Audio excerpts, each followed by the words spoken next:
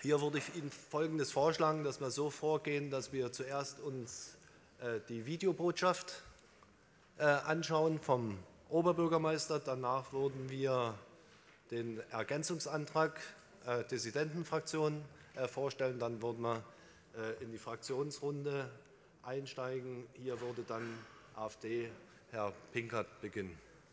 Okay. Sehr geehrte Damen und Herren Stadträte, die Vorlage zur Begründung der gemeinsamen Solidaritätspartnerschaft der Städte Dresden, Stuttgart und Straßburg mit Schmelinski in der Ukraine steht nun auf dem Programm. Bevor wir jedoch dazu kommen, möchten wir Ihnen die Videobotschaft des Oberbürgermeisters, die er zu diesem Anlass übermittelt hat, präsentieren. Zwischen allen Städten besteht bereits ein sehr guter und konstanter Austausch zu den einzelnen Bereichen, für die die Partner künftig zuständig sein werden, sowie zu gemeinsamen Vorhaben, Aktivitäten im Rahmen der Vierer Partnerschaft. Die Unterzeichnung der gemeinsamen Solidaritätspartnerschaft durch die Stadtoberhäupter der vier Städte ist derzeit für Juni 2023 in Stuttgart geplant. Über den endgültigen Termin wird der Stadtrat entsprechend rechtzeitig informiert. Und jetzt würde die Videobotschaft folgen.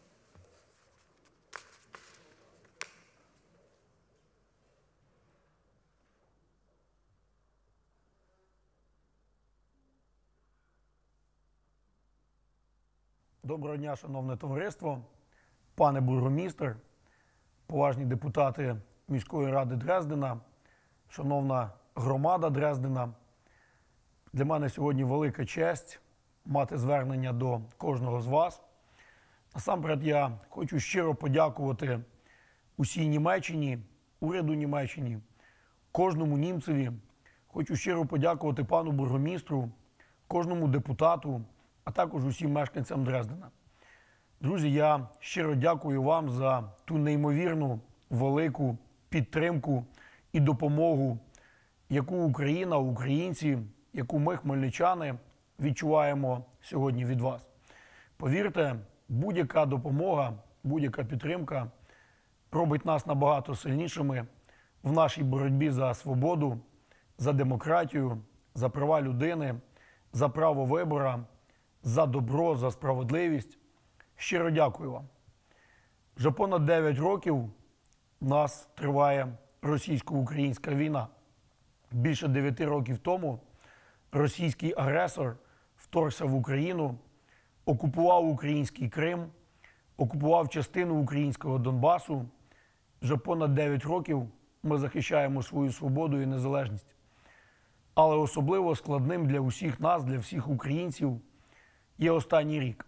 Є час з 24 лютого 2022 року. Час, з якого кожен українець відчув війну на собі. Завдячуючи нашим воїнам, Хмельницький знаходиться далеко від фронту бойових дій. Але незважаючи на це, ми кожен день відчуваємо на собі, що таке війна з російським агресором. Ми майже кожен день ховаємо в Хмельницькому наших українських героїв.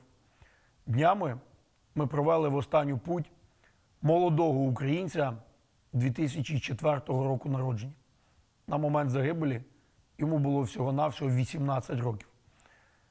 Він з українського Донбасу. Тоді, коли російський агресор пішов війною на український Донбас, він разом з батьком привіз маму як переселенці до нашого Хмельницького. І ми прийняли тут, як в себе вдома. І він разом з батьком пішов захищати свою рідну українську землю Донбасу. На його рідній українській Донбаській землі його вбив російський агресор. І таких випадків у нас сьогодні сотні і сотні. Незважаючи на те, що ми далеко від лінії фронту, Росія терористична держава обстрілює нас масованими терористичними ракетними атаками. Говорю свідомо терористами, тому що тільки терористи б'ють по цивільних об'єктах, по будинках, по навчальних закладах, по критичній інфраструктурі, комунальній інфраструктурі, енергетичній інфраструктурі. І За цей час на Хмельницькій були вже десятки таких масованих ракетних обстрілів. 31 грудня, за кілька годин до Нового року, Росія вбила в нас в Хмельницькому 22-річну дівчину. Дівчину, яка поїхала на ринок, аби придбати новорічні подарунки, фрукти, овочі для новорічного столу разом з своїм нареченим, разом з своїми друзями, і їх вбила Росія. Насправді це дуже важко, тому що я особисто через кілька хвилин після цієї терористичної атаки був на місці. І це жахливо, коли ти бачиш автомобіль, знищений російськими ракетами, кров українців, молодих українців, і фрукти, овочі і новорічні подарунки в цьому автомобілі. Росія знищувала нашу енергетичну інфраструктуру, бо хотіла, аби ми замерзли, аби ми були без світла, без води. Ну, але ми вистояли. І сьогодні в Хмельницькому, сьогодні в Україні весна. Справжня українська весна. Ми вистояли і вистоїмо в майбутньому. Сьогодні ми робимо все заради нашої перемоги. І я ще раз хочу щиро подякувати вам за те, що ви наближаєте нашу українську перемогу. В Україні ми воюємо, боремось, захищаємо не стільки територію насправді. Ми захищаємо свободу, ми захищаємо демократію, ми захищаємо права людини, ми захищаємо справедливість, ми захищаємо суверенітет, ми захищаємо свободу і незалежність. Ці цінності Європа і Німеччина, зокрема, визначила для себе як пріоритетні, як основні. І це правильно, тому що ці цінності спрямовані на людину. Вони для людей. Сьогодні Україна, українці і кожен з нас захищає ці цінності великою важкою ціною. Але повірте, ми налаштовані не поступитися нічим абсолютно. Жодного кроку назад. Ми налаштовані боротися і досягати нашої перемоги. А з вашою підтримкою і допомогою це буде швидше. І це точно буде заради людей, заради добра і справедливості. Сьогодні ми з вами, а також нашими друзями зі Штудрата і Страсбурга, запропонували усій Європі, запропонували, я думаю, всьому світу унікальний проект взаємодії співпраці між громадами, взаємодії і співпраці між місцевим самоврядуванням і муніципалітетами. Наш чотирикутник, як ми його називаємо, успіху і розвитку і демократії Хмельницький, Дрезден, Штутгарт, Страсбург, він є унікальним. Я впевнений, що ваша міська рада, пан бургомістр, однозначно сьогодні підтримує рішення про долучення до чотирикутника успіху, розвитку і демократії. І цей чотирикутник стане для наших міст, а найголовніше для наших мешканців взаємовигідним і корисним. Тому що ми все робимо заради наших людей, заради демократії, заради розвитку і заради змін. Я вірю про те, що наша співпраця буде плідною і результативною. Наша співпраця допоможе нам перемогти в війні з російським агресором і відстояти свободу та демократію. Щиро дякую вам за співпрацю. Бажаю нам плідної, взаємовигідної роботи і співпраці. Слава Україні! Vielen Dank. Und ich würde zuerst, Herr Pinkert, würden wir die Dissidentenfraktion den Ergänzungsantrag einbringen lassen und dann Fraktionsrunde eröffnen mit AfD. Herr Lichti, bitte.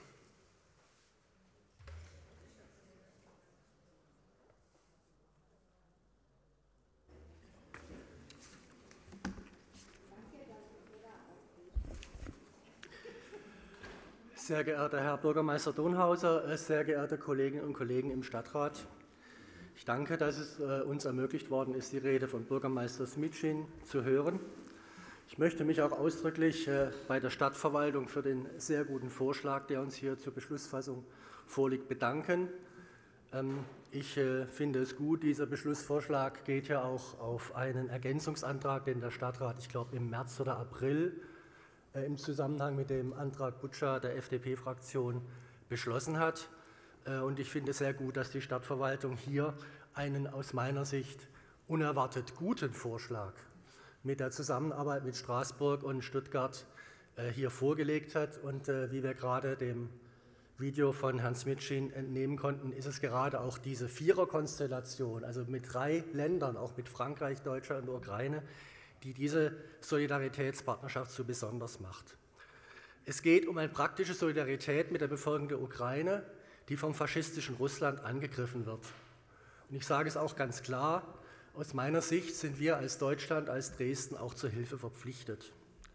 Es geht hier aus meiner Sicht nicht so sehr um eine kurzfristige humanitäre Hilfe, es geht um eine langfristig angelegte infrastrukturelle Hilfe, konkret für eine bestimmte Stadt, eine bestimmte Region, die auch, sage ich mal, für uns anfassbar, erlebbar ist, wo wir die Probleme erkennen können und wo wir auch sehen können, wenn ein Fortschritt erzielt wird. Ich glaube, das ist ein ganz, ganz wichtiger Schritt, dass wir sozusagen aus dieser rein humanitären Hilfe rauskommen und in eine langfristige infrastrukturelle Zusammenarbeit kommen. Und ich sage es ganz klar, aus unserer Sicht geht es natürlich auch um die Vorbereitung des EU-Beitritts der Ukraine.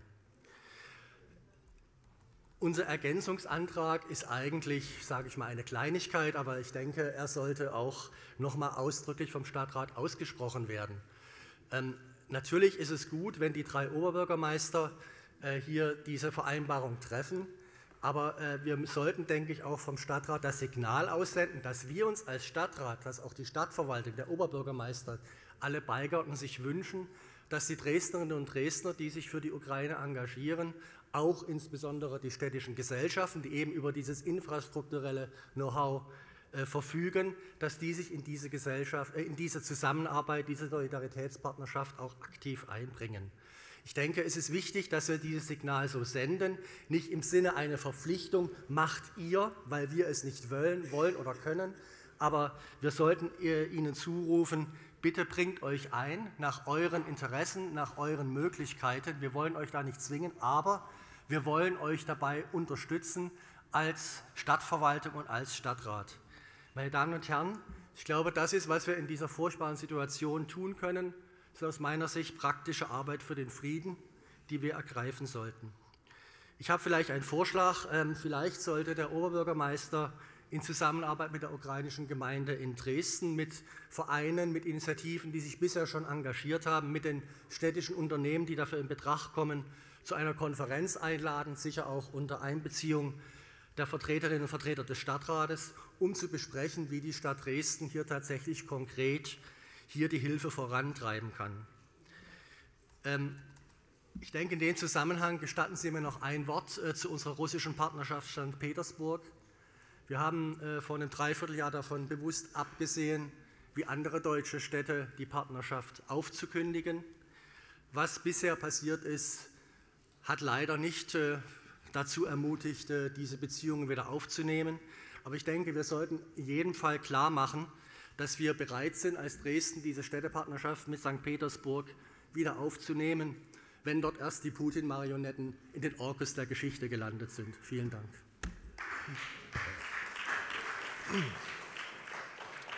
Schönen Dank. Nächster Redner, Herr Pinkert, bitte.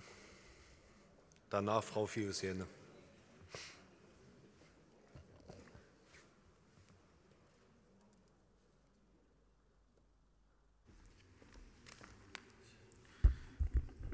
Sehr geehrter Bürgermeister, sehr geehrte Damen und Herren Stadträte, sehr geehrtes Publikum. Es ist entsetzlich, welche Gründe dazu führen, eine Städtepartnerschaft mit einer Gemeinde oder einem Gebiet in der Ukraine zu begründen. Jeder Krieg oder militärische Auseinandersetzung ist zu verurteilen und auch die mittelbare und unmittelbare Beteiligung daran.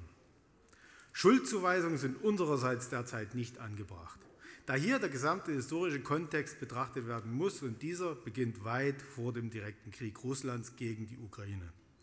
Dies ist aber nicht Gegenstand dieser Vorlage. In diesem unsäglichen Krieg verlieren täglich weiterhin Zivilisten, Wehrdienstpflichtige und Freiwillige ihr Leben und dies auf beiden Seiten. Hoffen wir, dass diese militärische Auseinandersetzung schnellstmöglich friedlich beigelegt wird. Dann sollten wir einer Gemeinde oder einem Gebiet, die direkt betroffen sind, die Partnerschaft anbieten. Hier sollte schon jetzt versucht werden, entsprechende Gemeinden zu kontaktieren. Und und hier in Dresden Kriegsflüchtlinge aus diesem Gebiet zielgerichtet ausgebildet werden für den Wiederaufbau. Das bedeutet, dass schon jetzt mit der Hilfe indirekt begonnen werden kann. Wir verstehen nicht, warum eine Gemeinde in der Westukraine als Partner gewählt wurde, die glücklicherweise vom direkten Krieg verschont blieb. Auch wenn argumentiert wird, dass hier aufgrund Europapreisträgerstädte schon vorher Kontakt bestand. Wir denken, dass es nach hoffentlich baldigem Friedenseintritt bedürftigere Gemeinden in der Ukraine gibt, die dringendere Unterstützung benötigen. Wir bitten Sie daher, diese Vorlage zurückzuziehen und einer Gemeinde oder einem Gebiet, welche leider direkt betroffen sind, die Partnerschaft anzubieten. Vielen Dank für Ihre Aufmerksamkeit und hoffen wir auf baldigen Frieden in der Ukraine und in der gesamten Welt. Nächste Rednerin Frau Fiusene, danach Herr Mattis. Ja, sehr geehrter Herr Bürgermeister, liebe Kolleginnen und Kollegen, also dieser Geschichtsklitterung der AfD, äh, da bräuchte ich jetzt eine halbe Stunde, um da mal einen Vortrag zu halten, wann, wo, welche Schuldzuweisung. Also für mich ist ganz klar, wer am 24. Februar letzten Jahres den schwarzen Peter selbst in die Hand genommen hat. Denn es war Russland, das die Ukraine bombardiert hat. Niemand anderes. Hier ist die Schuldzuweisung eindeutig. Tut mir leid. Äh, äh, passiert mir selten, aber heute muss ich es wirklich sagen. Den Ausführungen von Johannes Licht, die, äh, würde ich 100% unterstreichen, und den kann ich jetzt auch nur wenig hinzufügen. Ähm, was die Analyse dessen, warum das gut und notwendig ist, äh, betrifft. Ähm, Herr Pinkert, Sie haben aber offensichtlich weder zugehört noch die Vorlage gelesen, weil, äh, wenn Sie Herrn dem Oberbürgermeister von Schmelnitzki zugehört hätten, hätten Sie auch mitbekommen, dass die natürlich nicht vom Krieg verschont sind, so wie Sie es gesagt haben. Und das Zweite ist die Gründe, warum es nun Schmelnitzki ist als Stadt steht nun auch ziemlich transparent in der Vorlage drin, weil es eine der Städte ist, die jetzt noch keine deutsche Partnerstadt äh, haben. Und ich finde, da schließe ich mich Johannes Lichti auch ausdrücklich an äh, und möchte das wirklich unterstreichen, dass das eine äh, wirklich ganz herausragend gute Idee ist, hier nicht einzeln eine Solidarpartnerschaft mit einer ukrainischen Stadt einzugehen, sondern tatsächlich hier auf, das, dem, auf die wirklich gewachsene und gute Zusammenarbeit, die es ja im deutsch-französischen Verhältnis nun wirklich schon sehr lange gibt, äh, da anzudocken und sozusagen diese guten Erfahrungen dann auch mit einzubringen. Ich habe ja nun die Ehre, ich empfinde es wirklich so, hier die Stadt Dresden im Rat der Gemeinden und Regionen Europas vertreten zu dürfen, zusammen mit Mario Schmidt und mit Magnus Hecht. Ich bin im deutsch-französischen äh, Ausschuss. Und äh, da kriegen wir ja bei all den Sitzungen, die äh, stattfinden, eben mit, dass spätestens seit Beginn des Krieges dort alle Überlegungen auch immer mit Blick sind, wie kann man diese europäische Verständigung eben jetzt auch in Richtung Ukraine ausbauen. Und das ist ein ganz wesentlicher Schritt. Ich möchte hier noch einen Punkt, ich habe äh, bewusst jetzt mal die Gelegenheit äh, gewählt, um das hier auch mal im Plenum anzusprechen. Ich finde, die Stadt Dresden macht wirklich eine sehr gute internationale und eben auch europäische Arbeit. Ähm, wir, die wir jetzt eben, wie ich es gerade schon genannt habe, auch in diesen europäischen ähm, Gremien sind, äh, kriegen da ja auch eine Menge mit.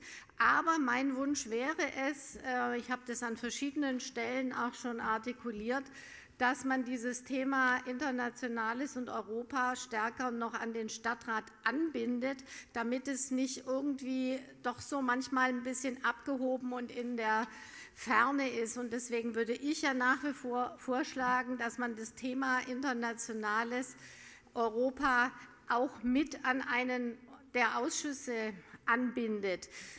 Ich sage es jetzt mal so ganz pragmatisch, da die drei Mitglieder im RGAE alle drei im Kulturausschuss sitzen, Kultur und Wissenschaft, was ja jetzt auch mit angedockt ist am Kulturausschuss, äh, sowieso per se äh, eigentlich die Bereiche für internationale Zusammenarbeit und grenzübergreifendes Denken sind, fände ich es sehr naheliegend, wenn man äh, in diese Richtung weiterdenkt, sodass wir ähm, wenn das eben mal an den Ausschuss noch mit angebunden ist, einfach der Austausch zwischen Verwaltung und uns StadträtInnen und umgekehrt, wenn wir eben in diesen Gremien sind, dass wir auch Rückmeldungen geben können, äh, noch intensiver ist. Das möchte ich an dieser Stelle einfach mal anregen. Ansonsten freue ich mich, dass im Prinzip dieser Geist des Élysée-Vertrags, das stand ja auch in der Vorlage, aber ich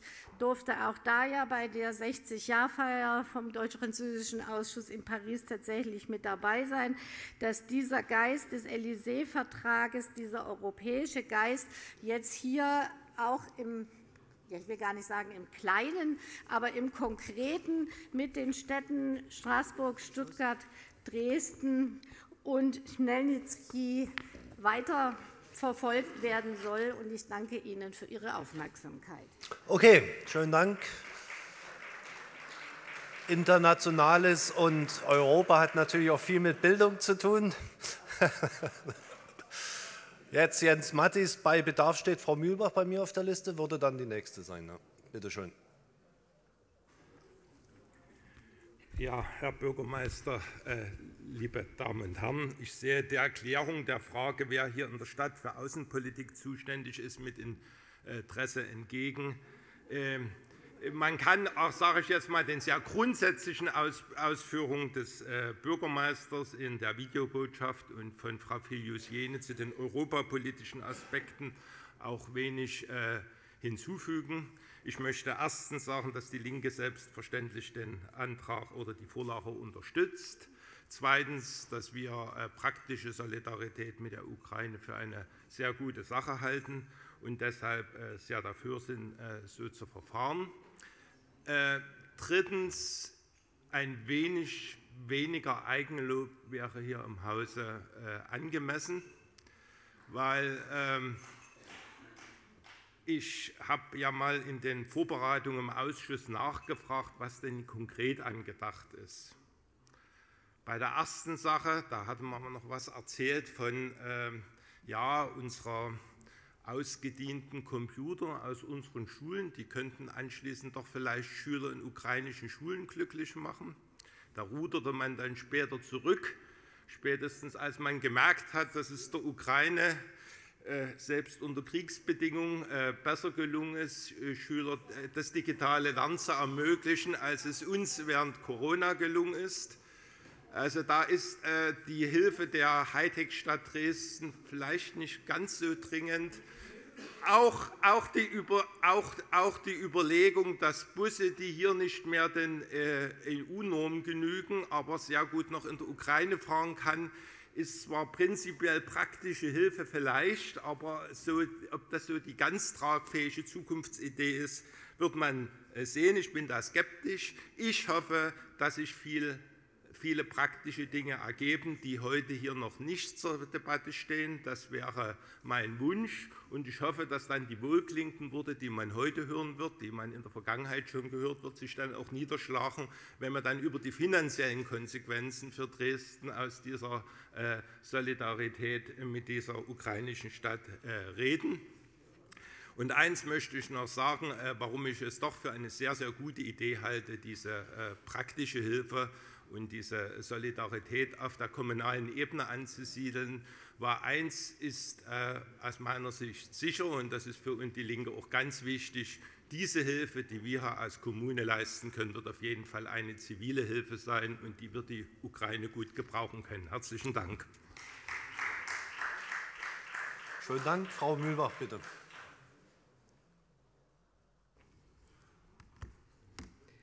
Sehr geehrter Herr Bürgermeister Donhauser, liebe Kolleginnen und Kollegen im Rat, liebe Dresdnerinnen und Dresdner am Livestream, eine Solidaritätspartnerschaft mit der westukrainischen Stadt Chmelnytsky als gemeinsame Solidaritätspartnerschaft der Städte Dresden, Stuttgart und deren französischer Partnerstaat Straßburg auf den Weg zu bringen und möglichst schnell eine entsprechende Vereinbarung zu unterzeichnen. Das will diese Vorlage nicht mehr und nicht weniger. Und meine Fraktion, das darf ich sagen, wird dieses Anliegen entschlossen unterstützen, genauso entschlossen, wie der Oberbürgermeister der ukrainischen Stadt in seiner Rede deutlich gemacht hat, die Ukrainer ihr Land verteidigen.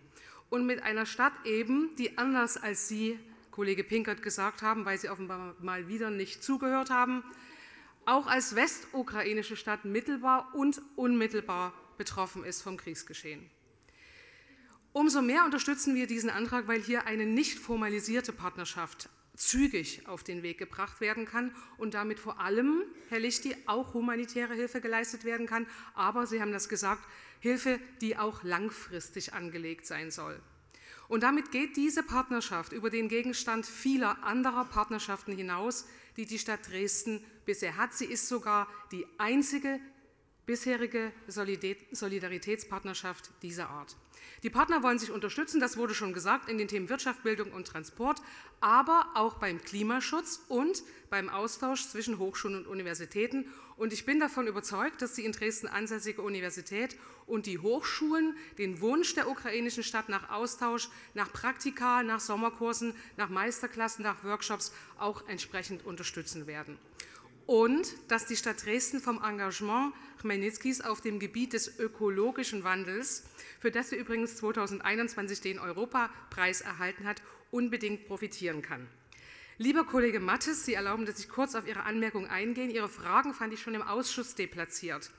Denn diese Vorlage gibt eben in der Tat noch nicht jeden Punkt und jeden einzelnen, jede einzelne Fragestellung der Zusammenarbeit vor, sondern sie lässt Freiräume und sie fordert ausdrücklich die Zivilgesellschaft, die private Wirtschaft und die städtischen Tochterunternehmen auf, sich in diese Partnerschaft mit einzubringen.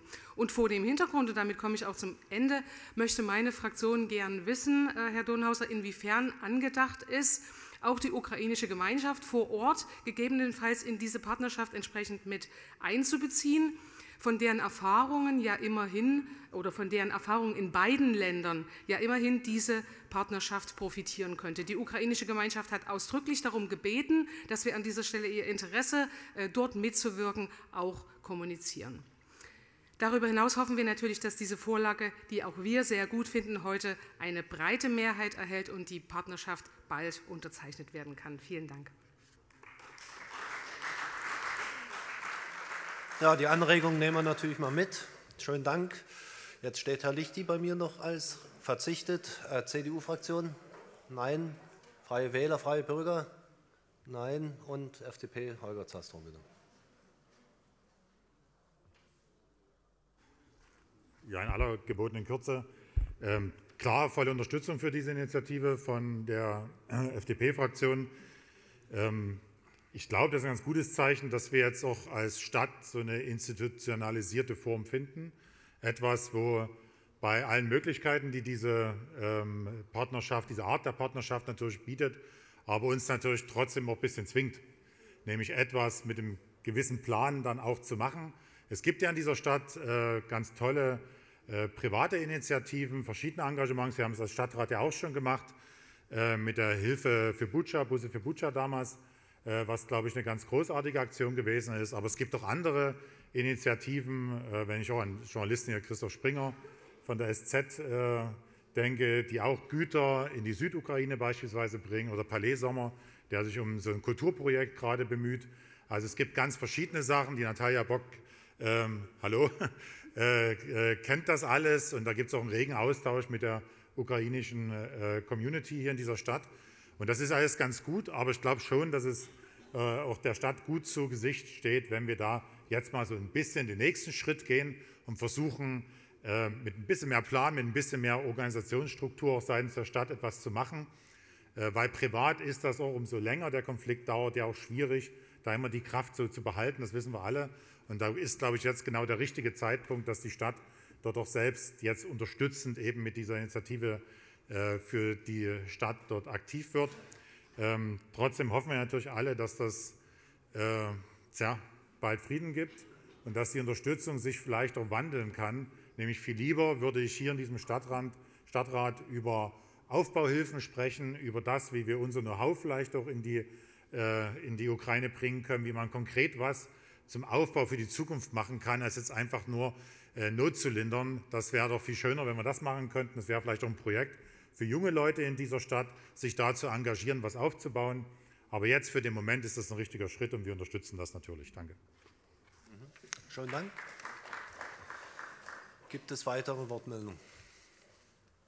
Das sehe ich nicht. Da würde ich ins Abstimmungsverfahren kommen. Äh, Grundlage ist der Ausschussbericht Allgemeine Verwaltung. Wir wollen zunächst über die Ergänzung äh, der Dissidenten abstimmen. Wer diesem Ergänzungsantrag, der, die, der den Ausschussbericht um einen Punkt 4 ergänzt, zustimmen kann, den bitte ich jetzt um das Stimmzeichen.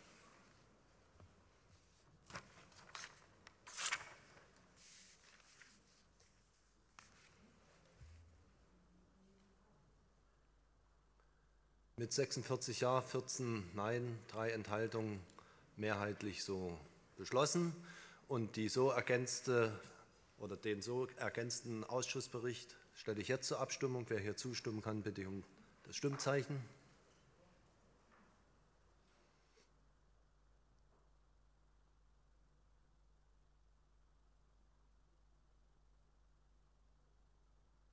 Mit 47 Ja, 14 Nein, zwei Enthaltungen damit so beschlossen. Vielen Dank.